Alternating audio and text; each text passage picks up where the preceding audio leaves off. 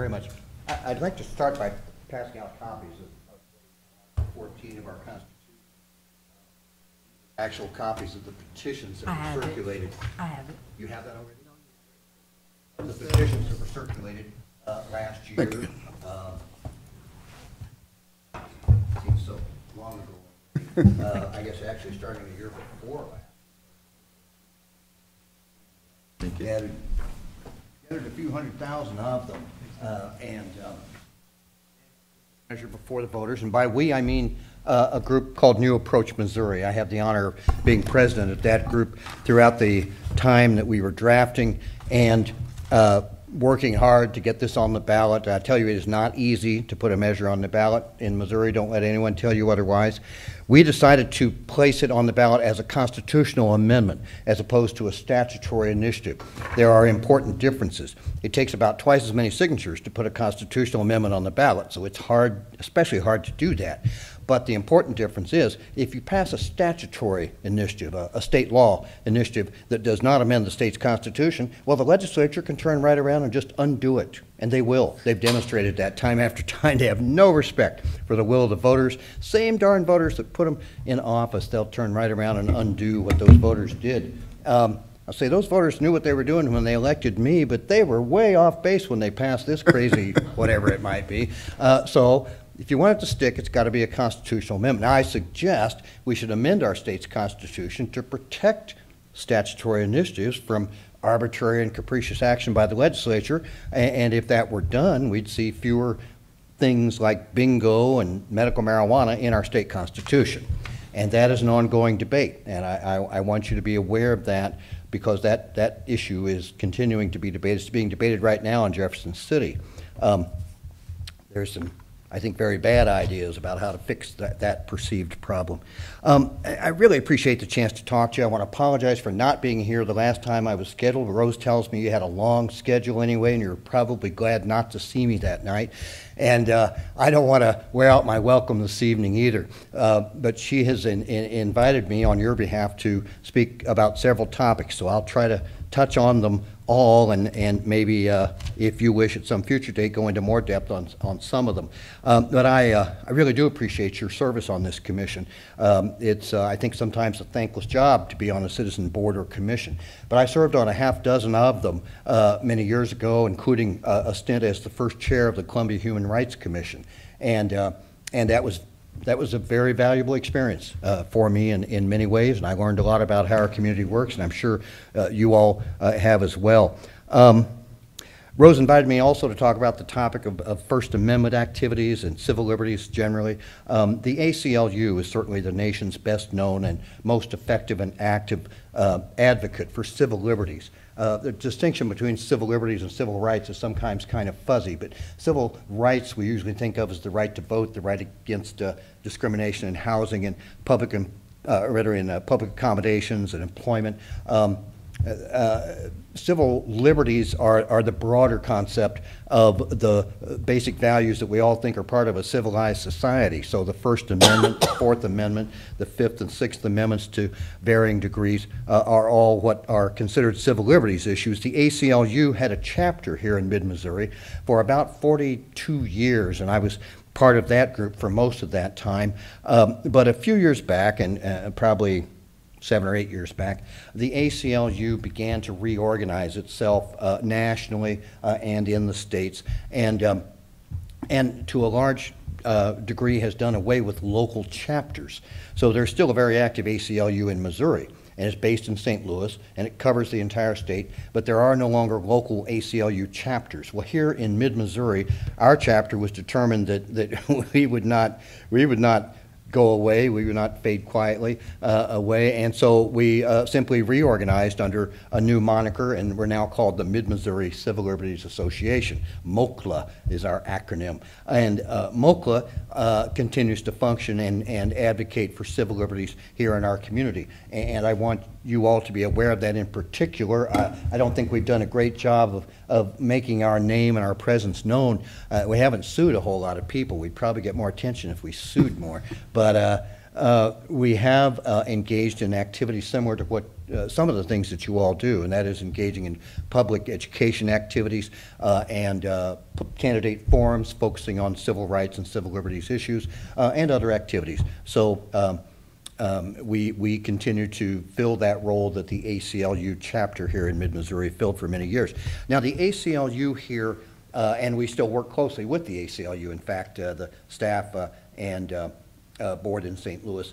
Um, the ACLU litigated several civil rights and specifically First Amendment cases here in mid-Missouri uh, during the past 50 years. It seems, uh, I mean, this is my 50th year in Columbia, and, and maybe that's why I just am more sensitive to it. But it seems like there's a lot of 50th anniversaries coming around lately, and, and one of them is the 50th anniversary of a case that went to the United States Supreme Court and originated on the MU campus on February the 16th of 1969, actually before I even came to Columbia. A graduate student in journalism named Barbara Papish was distributing a publication called the Columbia Underground Free Press, and I wish I had copies. I, I, I should have copies, but I'll be glad to get your copy if you wish. Um, uh, that publication, which was uh, uh, closely allied with the SDS, the Students for Democratic Society, um, had been distributed for a few years. It was approved on campus to be circulated, but this particular issue, and maybe because it was Parents Week, uh, caught the attention of university administrators. It, it featured a, a, a political cartoon on the cover of the Statue of Liberty and the uh, Goddess of Justice being raped by police officers. And, um, and uh, inside featured a story headlined Mother or acquitted, uh, and that was indeed the name of a group, and they had a case in court, and there was some, you know, reason to have that headline in there. But um, her case, she was immediately arrested, and so was the future first poet laureate of our state, uh, and uh, some other students. But Barbara was already on disciplinary and academic probation, and she was a target, and she was expelled. Um, the ACLU came to her aid. They litigated this case through the federal district court, the Eighth Circuit Court of Appeals, and finally the U.S. Supreme Court. And she had lost at every other level, but the U.S. Supreme Court overruled those decisions and held that, in fact, even what might be considered indecent speech was the term the university had used, is protected on a university campus uh, when students choose to engage in that, especially politically expressive activity. Political expression, of course, enjoys the highest degree of protection under the First Amendment, more so than artistic, more so than commercial speech. Political speech is the, uh, is the area in which the First Amendment is most important. At least that's what the courts have held. There was a, another case that came around, and I was here uh, for the genesis of the, of the Gay Lib case. Gay Liberation was a group that formed at the University of Missouri in the early 70s, very early 70s, and um, operated informally at first off campus and and then temporarily we kind of were able to get them uh, use of university facilities. But when uh, the group called Gay Liberation, which wanted to work for uh, gay people's rights, uh, applied for university recognition as a student organization, um, the university balked. Uh, that process in those days, and I think still begins by going to the Student Senate, the MSA Senate, uh, reviews and then makes a recommendation to, uh, to the university as to whether to recognize uh, uh, an applicant to become university recognized as a student organization. There are about 400, I think, last time I uh, saw a figure. And um, uh, although the MSA Senate, far from unanimously, but by a solid majority, recommended uh, that this group be recognized, which essentially bestows the right to use university facilities, meeting rooms, and potentially to receive uh, funding as a student organization, although there's no guarantee of that. Um, the, the university administration uh, as often seems to be the case, studied that issue for a long time, hoping we would go away, or this group would go away. And uh, we just didn't go away. Um, and so eventually the Board of Curators ruled and said, no, or hell no, we're not going to recognize any gay students organization. I mean, gay sex is illegal after all, and this is promoting illegal activity. Uh, and uh, of course, it wasn't that at all. It was promoting changing the law. And I, I am amused when the university now, uh, uh, and I'm glad they do, uh, brags about how inclusive and diverse they are and how they're proud to have gay people uh, on campus and have their uh, facilities used for gay people's rights. I can tell you that 50 years ago, it was precisely the opposite. Um, ACLU once again went to bat after our after years of discussion through the university administrative channels and all the various levels of appeal, um, ACLU went to court to uh, seek uh, that the university be ordered to recognize the Gay Liberation Organization, uh, and once again, uh, they prevailed. I think they did not prevail at the district court, but the uh, Court of Appeals for the Eighth Circuit ruled in uh, favor of the student group. I'm not sure if that was me or somebody else, but it was me. Um, And Indeed, the university asked the U.S. Supreme Court to further review that decision from the Eighth Circuit, which is in St. Louis, which includes several Midwestern states. Um, and the U.S. Supreme Court declined to grant cert or certiorari or further review. So, in effect, uh, confirming or affirming the decision of the Eighth U.S. Circuit Court of Appeals. Uh, and that became a textbook case. Uh, literally, when I was a law student several years later, I was thrilled to see that that case in which I had a small role uh, in the student senate uh, was a, literally a textbook case in constitutional rights and civil liberties. We, uh, we, that is the ACLU, also uh, litigated uh, when I was in law school uh, a case, a couple of cases that grew out of the Shantytown protests. Now, if you were uh, on, I think, almost any campus in the country back in the mid 80s to early 80s, uh, you probably recall that there were, uh, were a great deal of protests relating to universities' investments in, country, in, in companies doing business with South Africa. And by doing so, propping up that racist apartheid regime. Well, students, uh, and I was very happy to see this when I went back to school uh, in the early 80s, having graduated almost uh, in the early 70s. Um, uh, and, and that was an issue that students were very deeply concerned about. I got involved with that group, and um, they built shanties on the quadrangle between Jesse Hall and the columns, uh, and they were there for weeks and perhaps months before one day the chancellor looked out the window and said, I'm tired of seeing those shanties on the quadrangle, called up the university police, said, arrest those students. Uh, and, and you know, it, it struck me at that time that university chancellors have an armed force at their disposal. You know, if, if the chancellor says, go arrest whoever, by golly, they will arrest whoever. And I don't know if the mayor can do that. I don't think the mayor can call up the police chief and say, I want this person arrested, you know? I think the, the officers make their own decisions about that. But at any rate, uh, I uh, had just gotten out of class and came over to the quad and watched 42 of my friends uh, being hauled off in a school bus to what was then the uh, Boone County Jail. And it was a hovel. It was a true dungeon. It was tacked on the back of the courthouse. The courthouse has been expanded since then, but the expansion on the north side of the Boone County Courthouse was where the jail was, and it was a just a classic medieval dungeon. Uh, it didn't have a great capacity. The university forgot to ask the Boone County Jail if they had 42 vacancies, and they didn't have 42 vacancies. And so I go over there uh, and, and didn't necessarily uh, assert that, I mean, I wasn't even a lawyer yet, but I, I was there, and, and so I remember being on the phone with one of our judges saying, well, if these guys will just sign a statement that they'll follow the rules, then uh, we'll let them go. And I say, well, Judge, uh, you know, they're not going to sign that statement. He said, all right, let them go anyway. And so they, some of them took those jail cells hostage. They did have to say they would come to court when they were ordered to come to court, like, you know, most people do when they're given a summons or a ticket. And some of them wouldn't do that, and some of them were held overnight.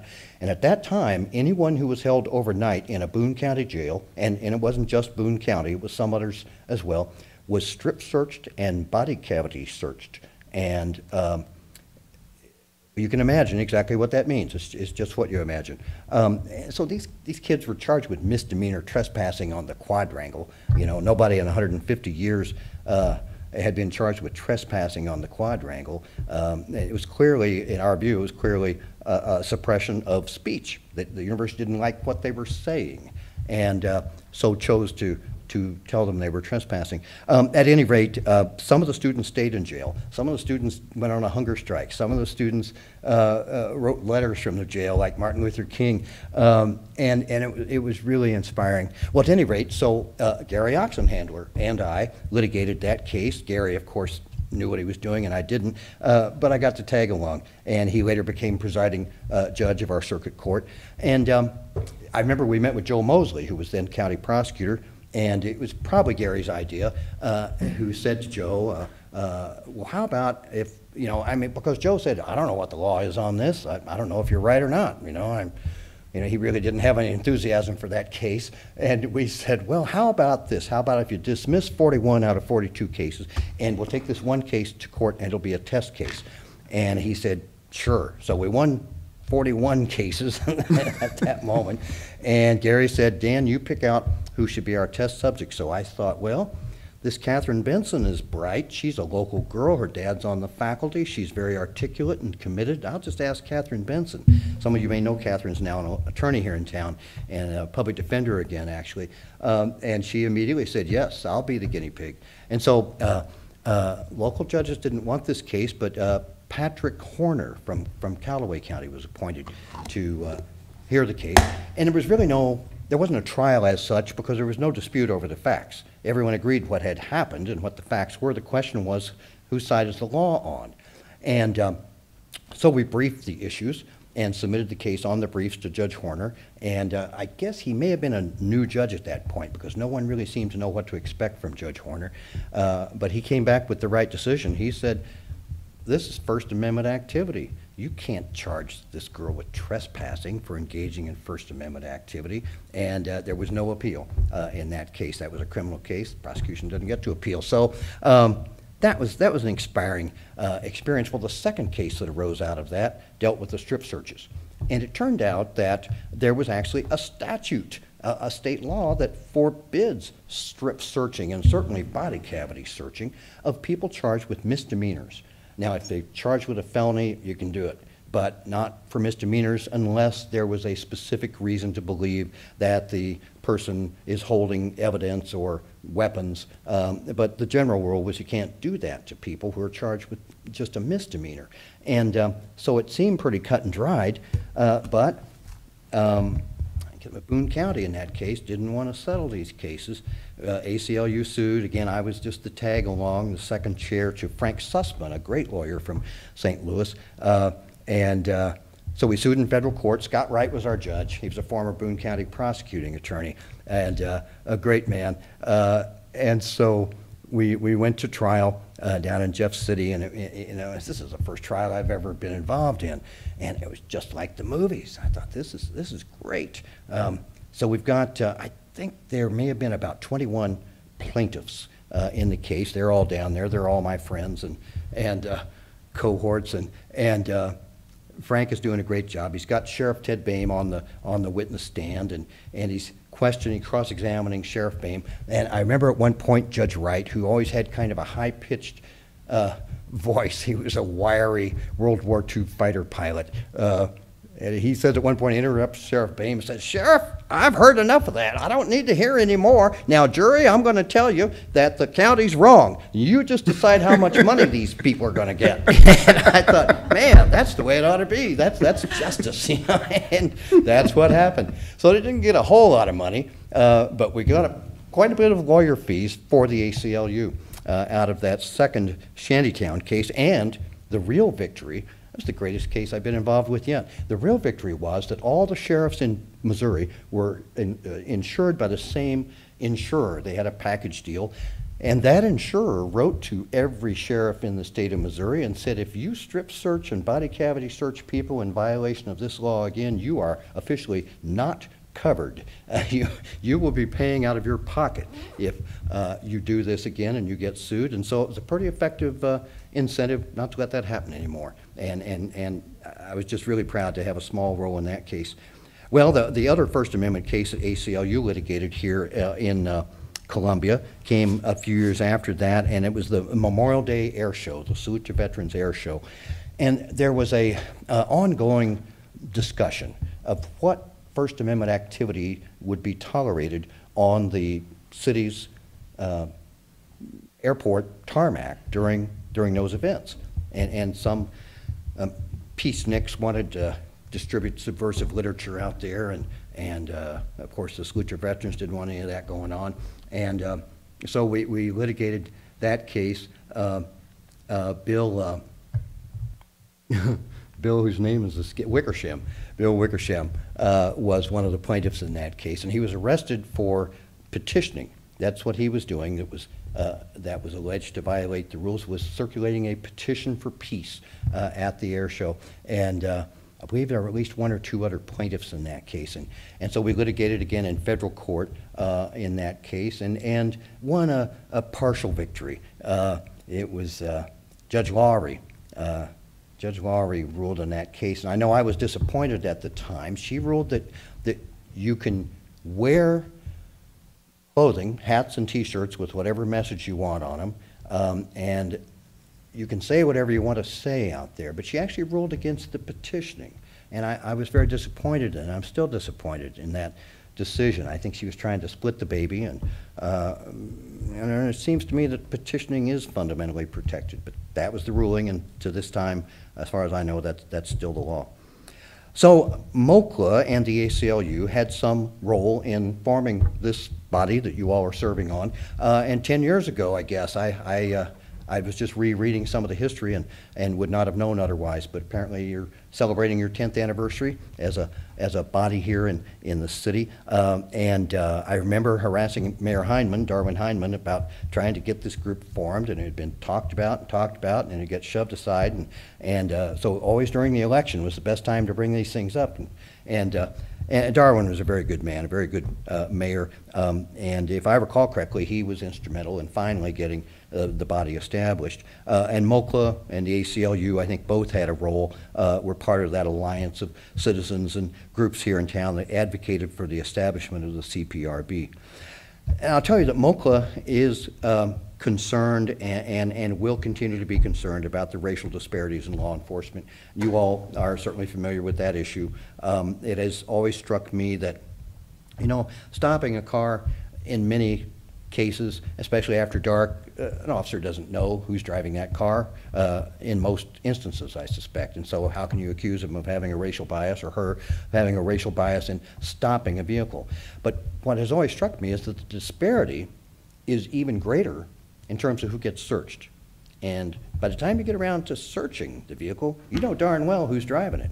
Uh, and, and that concerns me more. I've always been more concerned about the disparities in, in who gets searched um, than, uh, than who gets stopped. And If I recall correctly, just a couple of years ago, the statistics showed uh, that something like half of the people whose vehicles get searched in Columbia are African Americans. And, and, and, that strikes me as uh, something that's just not right. Um, I don't know what the solution is. Um, I don't think that there are very many, if any, police officers who are what most people call racist on our police department. Uh, and I think most, if not all of them, struggle to do a good job, and it's a very hard job to do. But I just don't think that statistic is acceptable. Uh, some of you may know Don Love. Don has studied this issue and knows it better than anyone I've met. Uh, and uh, I know there are a lot of experts from outside the community, and, and there are others certainly within the community. But, but Don Love, who serves on MOCLA's board of directors, um, is, is someone who I uh, would commend to you uh, if you if you want someone who who really does know that issue and and really does know the statistics uh, that relate to our community. One of the areas in which racial disparities are most striking uh, is in marijuana law enforcement. And ACLU issued a national report, and it's probably been more years than I realize. It seems like five years, seven years ago, called, uh, I believe the title was Marijuana in Black and White uh, and a subtitle, you know, an ACLU study of racial disparities in marijuana law enforcement. And, and it's, a, it's a comprehensive study because you can look up there. Uh, there are 50 pages dealing with each state. You can see easily what the state racial disparity rate is in marijuana law arrests and convictions. You can break it down county by county. Um, and, and some of the figures, again, are just, are just very striking. Um, that study is somewhat out of date now, but I still commend it to you if you want to see a very comprehensive study of, of that issue. Uh, it's, it's the best I've ever seen. Um, well, if I can continue, and you cut me off when, when uh, Rosa told me I could go 30 to 60 minutes. I want to leave a little time for questions. But um, another issue that Rosa's asked me to address is uh, the Missouri medical marijuana law that passed last um, September, or last November rather, November 6th. Remarkable that it had support from nearly, there were about a half dozen other issues on that ballot. None of them came close to that. Clean Missouri was the next nearest, around 60%. none of the statewide candidates, and there were many dollars spent on those campaigns. What is also important, I think, is that county, of course, the vote was considerably stronger than it is statewide. Roughly seventy-two percent, all correctly, here in Boone County that favored that law. And downtown, here in downtown Columbia, something like eighty percent of that proposal. Now, this was on an off-year ballot. If this had been a presidential election ballot, the numbers would almost certainly have been substantially. And that is a rule of uh, initiative politics that it took me a long time to grasp, but it's very, very clear that if you want to pass a progressive initiative, you should put it on a presidential election ballot. Indeed, Columbia's ordinances, which decriminalized marijuana possession back in 2004, had failed on three previous attempts. But when we put it on a presidential, and, and they were, you know, it was voted on in April and August and June and, you know, other times that just weren't smart. Um, But, and, and partly it was the evolution of public attitude. But when we put it on the presidential election ballot in 2004, the, the numbers flipped. It had failed 60-40. A lot of people just assumed it would fail again, but it didn't. Because we were on a presidential ballot, it passed 60-40. Um, and, and those laws, with slight revisions, are still, still on the books here, and they have been an example, which has now been followed by the city of St. Louis. The Board of Alder people there passed a, a similar uh, ordinance for the city of St. Louis a few years later. In April of 2017, a, a small committed group of people with no money um, put an initiative on the Kansas City ballot. And very similar to Columbia's, except the, the fine here in Columbia goes up to $200. The Kansas City initiative made it $25. And I thought, well, gosh, you guys are biting off more than you can chew here. There's no way you're going to win in an April election with a small turnout and $25. My God, you know, I don't think you're going to going to win that. But I wished them luck and helped them as much as I could. Well, you know, with the opposition from the Kansas City Star and opposition from some former prosecutors on the city council, um, they won, and they won big time. They won with 75% support of the voters in Kansas City, and, and that was a truly uh, amazing uh, outcome. So we were uh, encouraged uh, uh, by that and other polls that showed support for medical marijuana statewide being very high to put this question on the ballot. Um, I'll run through some of the things it says. One of the things it does, and it's a constitutional amendment, Article 14, we proposed it to be Article 16, as you'll see on the petition, but somewhere, somehow, there was no 14 and 15, so they changed. Uh, The final draft of the rules and regulations, consistent with these 13 pages of fine print, of course, will be published by the Department of Health and Senior Services by June 4. Now, they've been very open and very responsive to um, input, and they've, they've published drafts of these rules and regs a half dozen times already, and uh, each time, I think they get better. And I really want to compliment Dr. Randall Williams, who uh, uh, was actually appointed by former Governor Greitens. Maybe the best thing he did was appointing Randall Williams to be the head of DHSS in Missouri. And he, in turn, hired a guy named Lyndall Fraker to run this program. And they're doing a great job. And they're pursuing it with all deliberate speed and with good faith intent to follow what Article 14 requires. By August 4th, if, if, well, by July 4, uh, you can actually apply to be a qualified patient. And that takes a letter from a doctor that says you've been diagnosed with a condition that's included in Article 14, and I'll run through them in a minute. By August 4th, either DHSS has to approve you as a patient or you're automatically approved. Um, I think they will, in fact, uh, process all of those by, by August 4th, most likely, and that very few applicants will be denied. On August 3, the day before, is actually the day when DHSS is required to begin to accept commercial license applications. There are four of them cultivation, manufacturing, which means creating infused products, brownies, cookies, beverages, uh, because many patients prefer to consume cannabis orally, not by smoking. Either they don't like smoking or their land won't, won't let them smoke. And the fact is that in many states, uh, most patients uh, avoid smoking uh, and, and consume their cannabis in other ways that are probably healthier. Um, so uh, cultivation, manufacturing of products, testing, which is very important. Testing is required. It will allow patients to know exactly what they're getting. They'll know its purity. They'll know its potency. Um, and finally, dispensing. It is establishing a retail dispensary. Now, the P and Z Commission is going to hold a hearing tomorrow night about some of the proposals from the planning staff about what the regs should be in Columbia.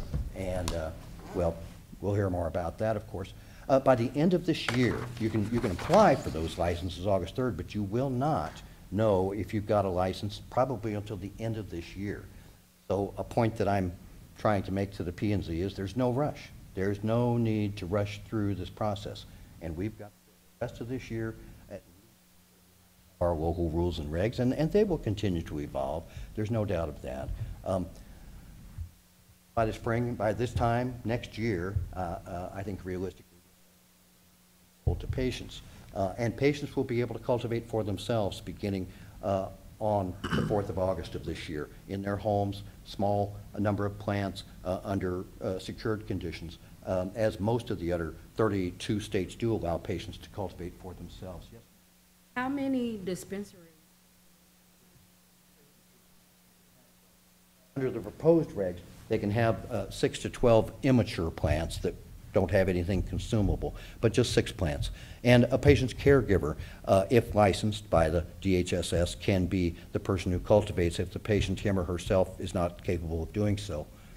The conditions that a doctor must uh, certify uh, that qualify a patient uh, include cancer or the the symptoms or the side effects of treatment for cancer, epilepsy, glaucoma, uh, intractable migraines unresponsive to other treatments, um, a chronic medical condition that causes severe persistent pain or muscle spasms, including uh, multiple sclerosis, Parkinson's, Tourette's syndrome, um, that's very important. Chronic pain. You know, the, the state of Colorado, we think, is way ahead of us, but they've just now added pain to the list of conditions that you can buy medical marijuana for in Colorado. Illinois only added pain fairly recently. When the National Academy of Sciences reviewed all of the existing scientific and medical literature about medical marijuana, they found in a survey published in January of 2017 that pain is the single most well-established therapeutic application for cannabis. That cannabis has been proven to be effective in the treatment of pain, and that's so important because what people are using to treat pain right now, to a large degree, is very dangerous drugs, opioids. And we're seeing thousands of people die because the lethal dose is not a whole lot more than the therapeutic dose. And because people uh, develop uh, dependence, they develop addiction, they develop tolerance to opioid drugs. Um, and this leads them to use more to get the same pain relief. Opioids were never appropriate for chronic pain relief. They're great for a battlefield injury, a car wreck uh, survivor, uh, but they're not good for pain year after year or even month after month. Uh, cannabis is. Cannabis, it turns out, is an effective pain reliever and does not uh, uh, cause tolerance or addiction in any real physical sense, at least, uh, and, and doesn't cause dependence, and doesn't, most importantly, doesn't kill anybody. You know, that's why cannabis is a far better drug uh, than opioids. I heard Jeff Sessions said one time, well, that's just substituting one addiction for another. Well, you know, whether it's addictive or not, it's substituting a drug that won't kill you for one that will kill you. And, and anybody should be able to perceive that that's probably a, a, a good idea. Um, so, uh, in fact, the study that began to cause people to realize this is uh, one published by JAMA uh, in their journal Internal Medicine in August of 2014. And they showed by simply looking at the uh, numbers of people dying from opioid overdose uh, and correlating that with which states um, have uh, medical marijuana and which don't. per capita, they found that the medical marijuana states on average had 25% fewer people dying from opioid overdose. And that was, that was several years back. They found, moreover, that this was probably not just a correlation, but truly cause and effect, because the reduction in the per capita rate of opioid overdose death was smallest, around 20% in states that have just legalized medical marijuana. And its greatest, 33%, and we hope climbing, in the states that have had medical marijuana longer. Studies since then have demonstrated that the prescribing of opioids, as you might expect, is much lower in states with medical marijuana available. Most patients don't want opioid drugs if they can get pain relief from a drug that doesn't cause intense and life-threatening constipation, that doesn't threaten to kill them. Uh, most patients actually prefer that. And, and also the prescribing of many of the psychotropic drugs that are used to treat depression and anxiety uh, have likewise been demonstrated to be dramatically reduced uh, in states with access to, to legal medical marijuana. So others include uh, debilitating psychiatric disorders, including PTSD, but only if diagnosed by a psychiatrist. The other conditions can be diagnosed by an MD or a DO. But uh, psychiatric disorders, PTSD in particular, you have to have a letter from a psychiatrist.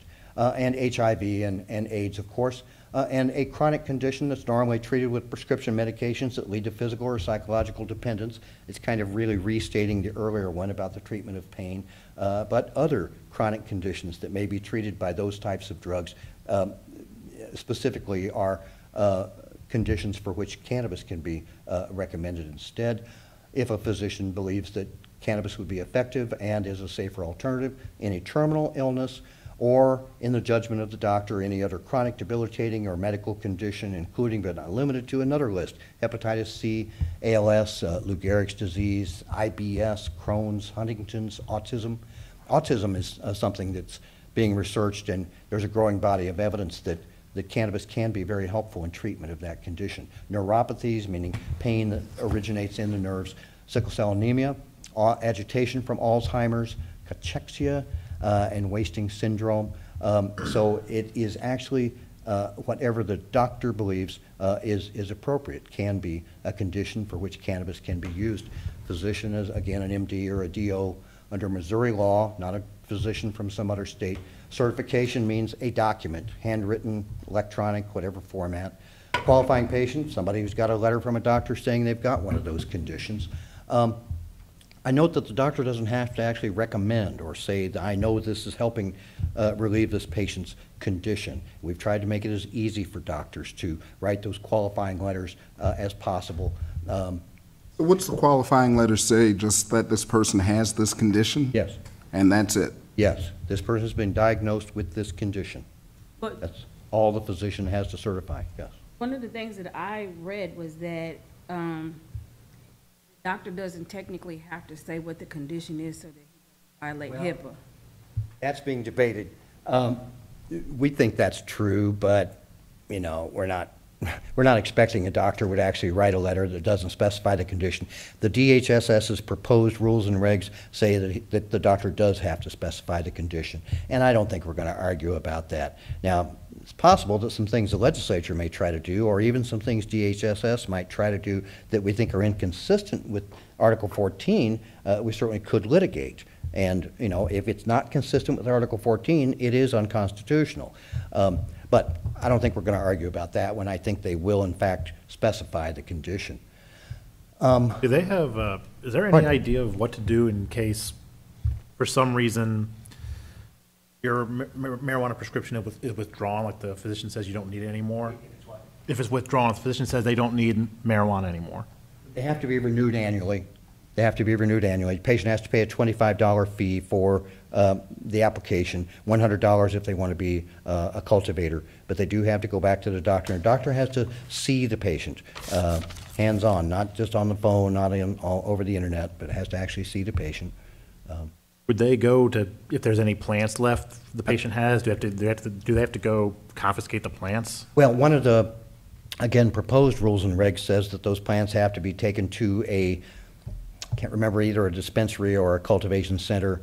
Uh, You know, if, if the patient follows the law, that, that's what'll happen. How do you reconcile state law with federal? Because you're dealing with large sums of money that can't add, can't go into a federal bank due to federal law. And then it may be subject to money laundering. It can't enter the stream of commerce. So how are you going to reconcile that? And secondly, you deal with uh, civil liberties there's a conflict when people fill out a 4473 that says, are you an illegal, a user of illegal substances? For firearms. And, yeah, they are a legal user of marijuana, but under federal law, it's illegal. So Sure. Well, those are two very important questions, and they're both the subject of pending federal uh, legislation, and that legislation is picking up steam. Um, And, and of course, no one knows for sure when or whether Congress is going to address those. But the SAFE Banking Act, SAFE is some kind of acronym for something. Uh, That's got a lot of steam behind it. The banks really want that money, of course. They just don't want to lose their FDIC. Uh, And so uh, I think that's going to pass pretty quickly. In the meantime, there are banks which are sticking their necks out. There are banks which are accepting deposits, not very many, but there are some. And uh, savings and, or rather, uh, uh, savings and loans. Credit but, uh, unions? Pardon me? Credit union? Yes, credit exactly. unions? Credit unions, in some cases, seem to be either braver or not subject to the same regulations, perhaps, that the federal agencies are. Um, As far as the guns go, no one's had their guns taken away. And the people who've contacted me about that, I've said, look, if you want to buy a gun, buy it now, then become a patient. Uh, But, uh, Confiscation's happening in Hawaii. The state of Hawaii is actually going to Yeah, the homes of people. Yeah, right now, um, you can't, if you honestly answer that question, it actually says now, are you a certified medical state patient? And if you say you're a patient, you, you won't be able to purchase a firearm through legal channels. I mean, it's, it's a, it's a bad situation, and it needs to be straightened out. And I, I for one, believe the Second Amendment is part of the Bill of Rights. You know, I don't, I don't own any guns right now, but I think that we have to respect the Second, just like the other parts of the Bill of Rights. And, and, uh, so a lot of people are very concerned about that. I mean, yes? Uh, I guess in a way, tacking onto that, that's sort of contemplating purchasing a new firearm while you're a patient, existing firearms. You know, if you have a CCW in the state of Missouri, how do you anticipate that might be handled if uh, you're applying for your qualifying patient card, or in the future, if you're like maybe stopped by police and you're a qualifying patient and you've got your CC? Like, is there any contemplation on how that situation might be addressed? I don't know. Uh, Insofar as it's governed by Missouri law, I think the Missouri General Assembly is going to address it. And I know there are many good members of the GOP that want to fix that problem. And there's actually a bill pending um, that says that the state cannot share the names of patients with the federal government, and it's for that reason. But I don't like that approach because it's like saying, well, if you lie on your firearms purchase application, we won't rat you out. Well, you know, that's not a good idea. I'm not going to rely or tell anybody to rely on that. Uh, But, but uh, indeed, as, as far as CCW goes, if I understand correctly, it is regulated by state law. I think that the General Assembly, maybe not this year, but next, I bet you they'll address that question. But again, I, I mean, I don't know gun law real well, but I don't think you're automatically, I don't think you're going to be considered a person in possession of illegal drugs if you're legal under state law. I don't think any Missouri police officer, highway patrolman, sheriff's deputy uh, is going to accuse you of a law violation if you're legally in possession of that. For instance, if you're in possession of opioid drugs and you don't have a prescription and you've got a gun, that's a felony to have the gun, and it's a felony to have the drug, you know, without a prescription. If you've got marijuana and a gun, that's two felonies also, unless you're a patient. But I don't think it's one felony if you're a patient. But that issue hasn't been litigated, uh, and, and I'm sure there are other questions that we may not even have thought of yet that'll have to go through the courts of appeals, or they'll have to be addressed by the, by the General Assembly. Um, There's also a certification for transporting cannabis. Um, They, uh, you know, and I, I kind of regret that we wrote this the way we did, but we, we didn't want DHSS to start considering factors that, that might be inappropriate. So we said that DHSS will score the applicants for licenses on these factors, character, veracity, and, you know, a whole lot of other things that, you know, would, would make sense, of course. their business plan, uh, how they're going to, I do like the fact we included how they're going to make uh, medical cannabis available to low-income patients. So every person that applies for a license is going to have to say, we're going to serve the needs of low-income patients by giving them a deep discount or giving them free cannabis. But that's one of the factors that we wrote into this that I am proud of. Um, The security, obviously, experience, not that you have to be someone who worked in another state in illegal cannabis, but you have to have somebody that you're consulting with who has experience working in the legal market in another state. Um, Testing facilities, experience in, obviously, in that type of activity, and potential for positive impact on the community. And I think, frankly, we're talking about inner-city communities there, uh, how they might be helped by the presence of, of uh, these facilities. Um, and other factors uh, you can, you can read for yourself, of course. Um, maintaining competitiveness, competitiveness in the market. You know, I'm sure they're, they're going to be competitive, and that's good for patients. There should be competition. There should be, prices should drop to their lowest level. Um, we also wrote in a 4% tax in addition to the other sales taxes, which do apply, if not to medicine, they'll still apply it to medical cannabis. Um, in addition to the regular sales tax, taxes, a 4% tax, which will go specifically to aid veterans in Missouri and creating a fund. It's administered by the existing Veterans Commission of the state of Missouri, and they have been administering programs like that for many years. Um, the Department of Revenue gets to take out five percent for their activities. We've written this so that it'll fund itself, both from that four percent tax and from the application fees and renewal fees that commercial applicants pay. Um, then, after they take their five percent, DOR sends that money to the Veterans Commission. They use it for uh, health and other services for veterans, including uh, operations and maintenance and improvements to Missouri Veterans Homes, the Missouri Service Officers Program, other services including but not limited to health care, mental health, drug rehab, housing assistance, job training, tuition assistance, and housing to prevent homelessness. So I really think we're going to see a tremendous improvement in veteran services. Yes? I didn't see peace on that. You What? I didn't see peace or anti-war on there. Sorry, what's, Oh, peace, right? I mean, that would prevent a lot of the veteran issues. no, I just, I'm just not hearing. Oh, peace, right? Like anti-war. Oh, Eddie White. Yeah, That'd be a right, great okay. idea. I don't know. I mean, there are a lot of veterans who work on peace. Yeah, I, I see what you mean. That's a great idea. I hope, I hope it'll be included. And of course, the- you know, if you have a card, you're not going to be arrested. This is important. We wrote in because in some states, hospitals were still denying medical patients who were totally legal under state law, uh, or organ transplants, or deprioritizing them for organ transplants. So our state constitution now says thou shalt not do that, that using marijuana legally is not going to disqualify you for an organ transplant. Um, But if you have a disqualifying felony offense, a violent offense, or certain other ones, you can't work in this industry. Um, You know, there's forgiveness clauses after so many years. Um, They have to be owned, majority owned by Missouri citizens uh, who've lived here at least one year, but we didn't want out-of-staters to swoop in with their money and just uh, lock up the entire industry. Um, if you're going to grow for yourself or for a patient you're caring for, it has to be in an enclosed, locked facility with certain security devices, and DHSS is proposing more specifics about that. Um, You can't sell your license to somebody else unless DHSS approves of it. And this is the one that uh, is being debated right now and tomorrow night. Um, we regret writing in a thousand-foot buffer zone around every school, daycare center, and church, because that means there'll be no dispensaries in downtown Columbia unless the local government waives it. It says, unless allowed by the local government. I can tell you that Kirksville and St. Louis have eliminated that buffer zone for dispensaries in their downtown area, not for cultivation and other stuff, but for dispensaries. And that at least three other cities, I think it's St. Joe, Ellisville, and Creve have dropped it back to 300 feet. And Boonville and at least one other city are now considering doing the same thing. But the planning staff here have said they want to keep it a thousand feet. They want to be, have no dispensaries in downtown Columbia. I don't think that makes any sense. Most people and most patients are in downtown Columbia. So we'll argue about that uh, tomorrow night, probably in the coming weeks. Um, Government, Why do you local think they government. want it that way? I'm sorry? Why do you think they want it that way? No.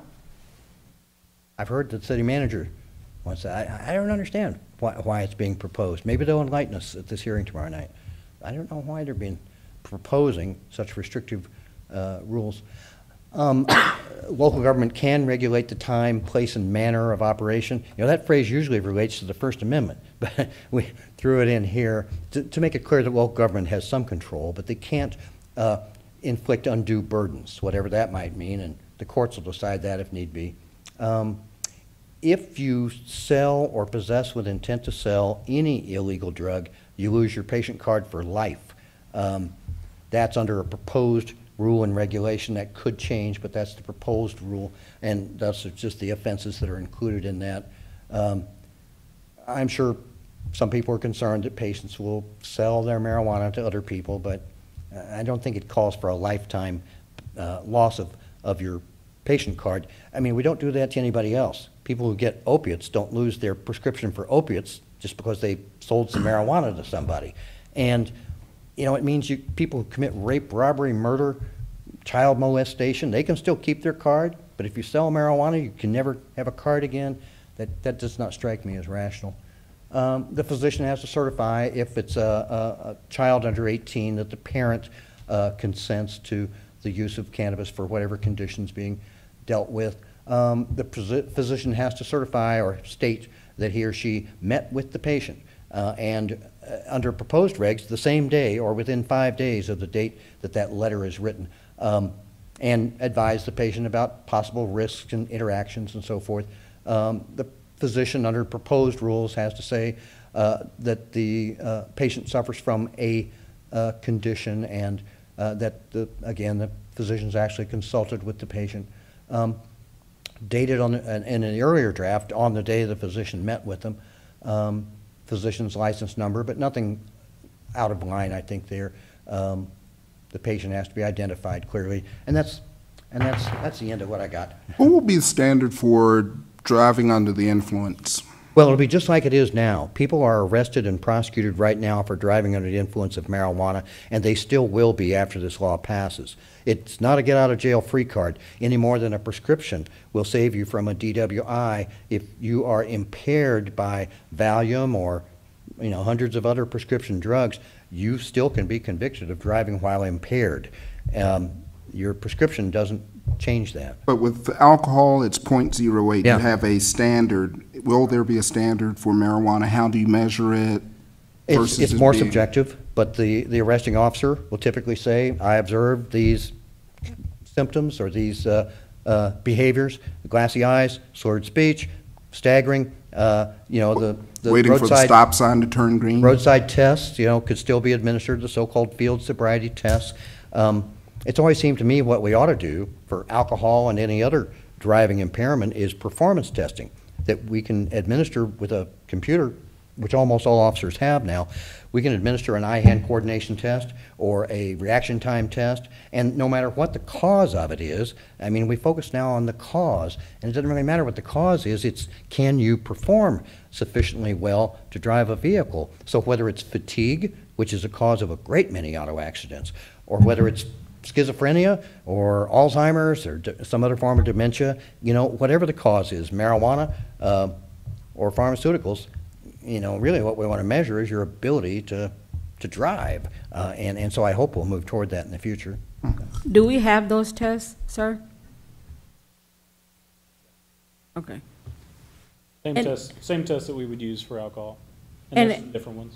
And is CPD going through even more intensive training on recognizing that with this being passed now? That I don't know. There's, there's specialized training, um, A-RIDE, which is Advanced Roadside Impairment Detection, and a- there's a, another training, it's DRE school, that trains officers to identify people that are under the influence of drugs specifically. How many officers have that training? Is it just Sergeant Sinclair, or is it? No, there were, at one point, there were eight of us. I think there's three that are active now, three or four. Can you describe, can you, DRE desc- training. Yeah, DRE training. can you, But I think every officer has some training in, Yeah, standardized field sobriety testing, everybody gets. can you destri- describe um, one of those tests for me? As far as what, A reaction one. so what do you mean like a reaction test? That he was just saying that um, there's testing, and that's why I was asking you, does CPD do those reaction tests? field Well- sobriety tests. Yeah, we do field sobriety tests, which are actually, they're divided attention test, tests is what they're classified as. Because I, I just don't want to assume what I see on TV is what you guys are doing. That's why I was asking, can you describe one for me? So some of the divided attention tests would be like um a walk and turn test. So you instruct them to take nine heel to toe steps down a line. Uh, you look for certain clues while they're taking, while they're doing that, and then they have to turn around in a specific fashion and then take nine heel to toe steps back.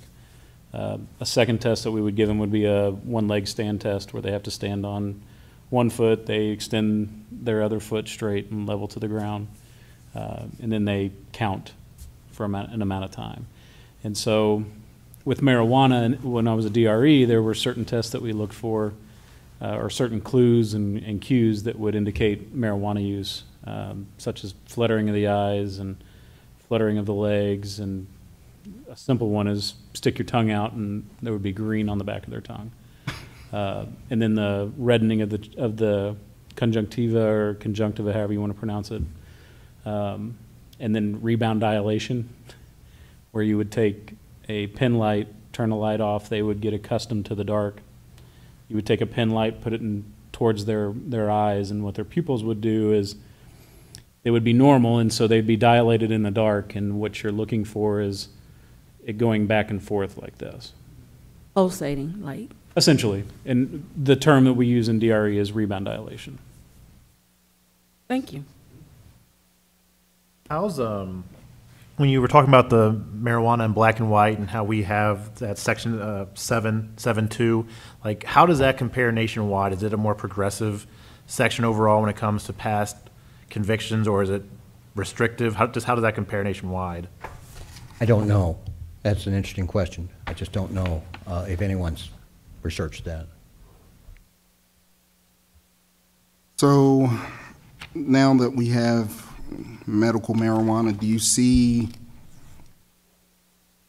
a general opening sooner or later for for marijuana becoming legal? Well, that's possible.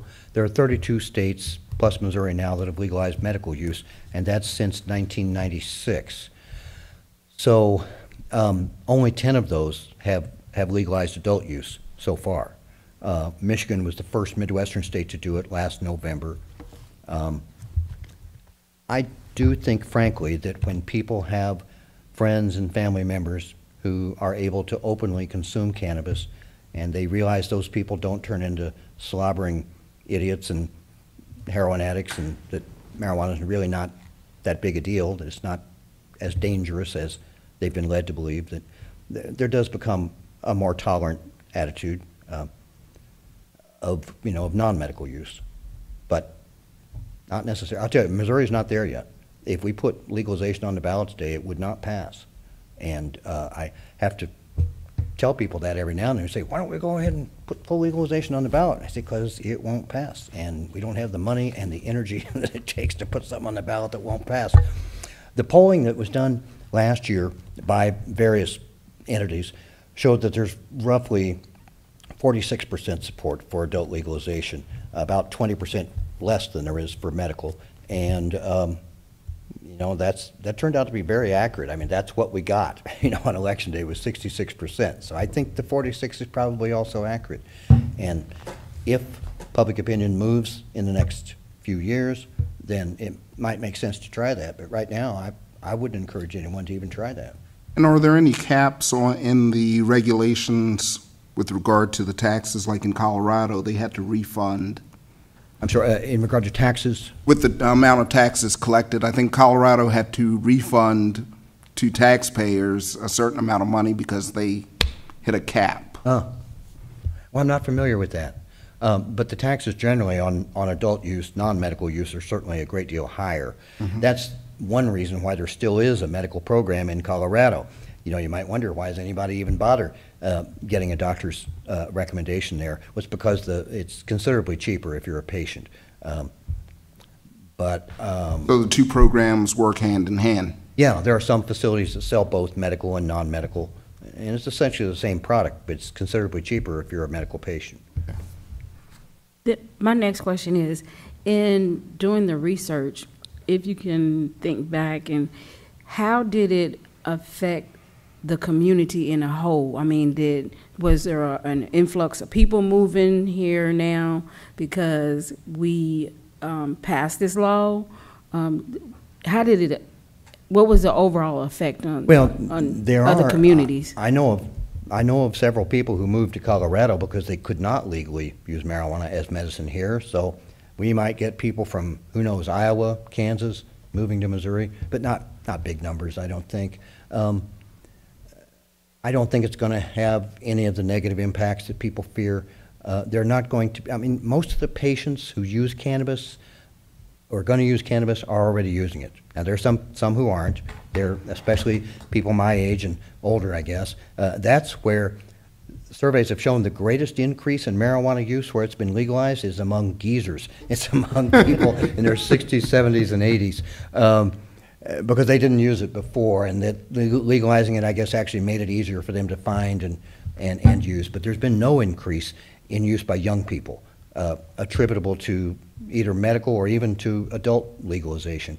Um, I, there are, you know, it depends on who you talk to, but you may have seen these billboards all around the state now, this outfit called Weedmaps. I wish they'd put them up before the election, but there are these billboards all over the state now that, you know, each of them has a little factoid on them. And, and I think they're accurate. I- They're truthful, and they cite a source. Uh, uh, there's a great deal of research that does show that there's no increase in crime uh, surrounding, even though there is that large amount of cash there, that there's really no increase in crime uh, attributable to, to legalization. I mean, there's a lot less crime. if you So is that, it. is that one of the things Pardon? that people are, is that one of the things that is being said, is that there's an increase in crime?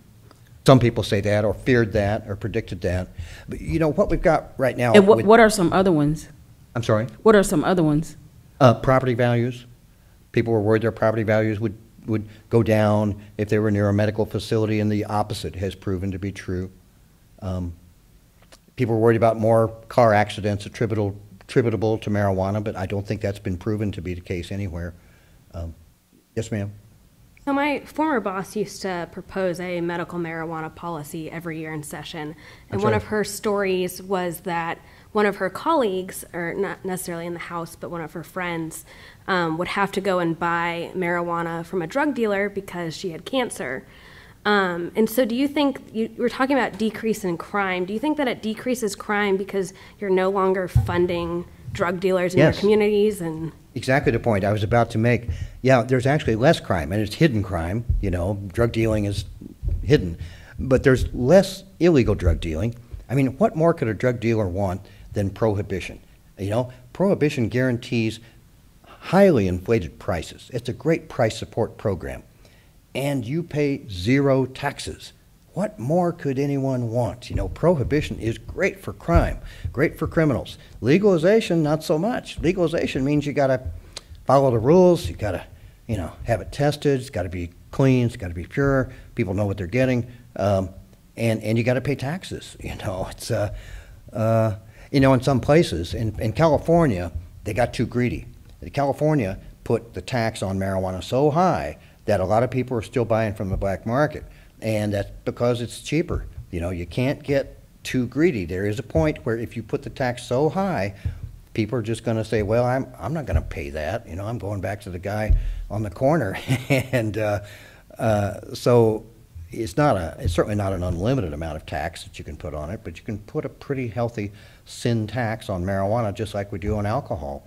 You know, if we put the tax on alcohol too high, then the, the stills out in the woods will reappear, but, you know, that's not happening. Uh, And we do allow, of course, we do allow people to brew their own beer, make their own wine, even distill their own uh, spirits if they want to, but almost nobody does that, not on any large scale. And that's what we see where marijuana is available, is that, is that, you know, even those patients who can grow for themselves, probably, you know, a certain percent will try and say, this is hard, you know, this is not, this is not easy, it's expensive, you gotta buy all the stuff to do it with, um, and most landlords don't want you growing marijuana plants in their apartments, so, you know, I think the vast majority of people will buy from dispensaries, and that's why we think it's so important to have true competition, to keep the prices competitive. So what happens with the people who apply and don't get licenses? I- From my understanding is their application fees are just, They're lost. they're forfeited. What we have urged, and I'm glad you reminded me, because I want to write to DHSS again about this. What we have urged them to do is to say to those people who don't get a license, when or if we expand the licensing, your fee will still be on file, and not make them pay a second time. Um, You know, at least give them a little consolation, because you're right, they're paying six, ten thousand dollars, and if they don't get a license, they don't get that fee back. Right. Um, It's, to me, it seems like an expensive lottery ticket. it is, it is. Exactly right. But we hope that they'll allow them to apply again without paying a second fee in a year or so down the road. What are your biggest concerns with legalized medical marijuana? Um, um, I should be able to think of some joke, but I, I can't. I, you know, I mean, I can't think of any real concerns. Uh, I, I just don't think there's been any negative impact where it's been tried. Uh, it's, you know, it's, it's worked well. Uh, It has not resulted in an increase in use. That's the single most important fact. Uh, in Colorado, and I don't think there's any evidence to the contrary elsewhere, Colorado published a study a couple years ago, and they are required by state law to do an, I think, an annual report.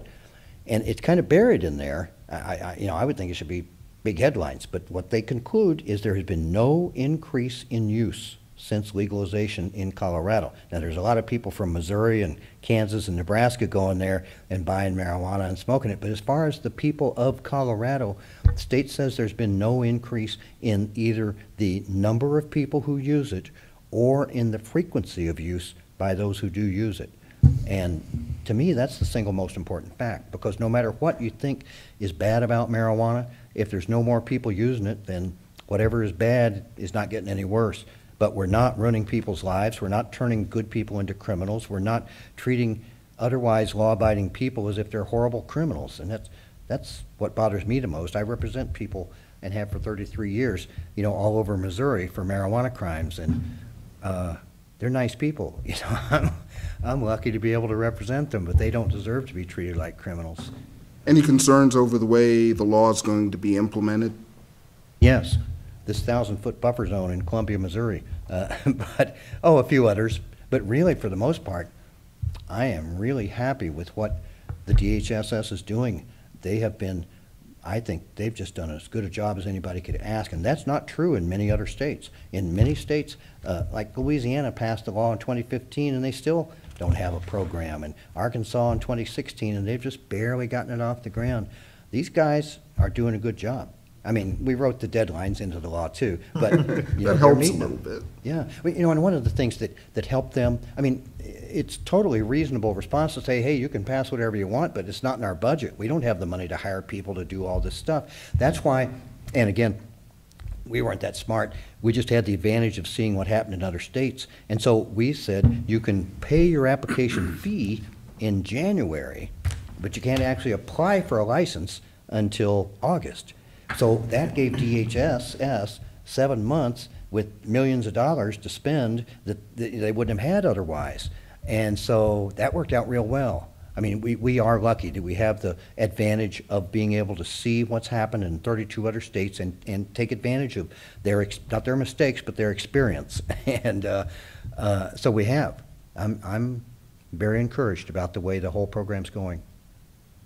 I have a question for you, Sergeant, Um, because I just don't want to assume. But I think I know the answer, but I just, like I said, I just want to assume. When, Mike, because I just don't hear mm-hmm. very well. when, when you do, when they're doing their traffic stops, what is the number one drug that they find? I'm sorry, the number one what? I'm, I'm talking, Oh, asking the sergeant, yes. I don't know.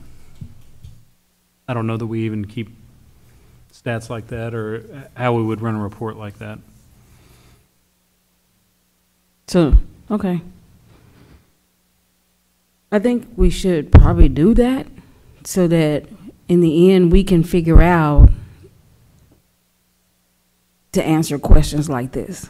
You know, i- is, is there an increase? Is there a decrease? Is, has things changed? You know, because I think it is important to know, you know, when, when a person is arrested, you know, especially in a traffic stop, what paraphernalia that they had, if they had drugs, all of that. Somebody should be keeping track of that. Well, I mean, we, in the, in the offense report, it shows what was taken, but I don't know that we have a reporting mechanism to say, you know, I'm just throwing numbers. Out of four hundred traffic stops, hundred were for marijuana, hundred were for methamphetamine, hundred were for heroin. I don't, I don't, I don't, I just don't know if there's a way to do that. We would have to go through every traffic stop arrest and document it that way, so, not sure. Is there anything else? Mr. Viets, we really appreciate you coming in and taking the time to talk to us. Uh, Everything you covered today ran a little long, and we definitely appreciate it. Thank you very And much. And you are welcome back at any time. Thank you very much. I'll take you up on that. Thank you. Have a nice day. And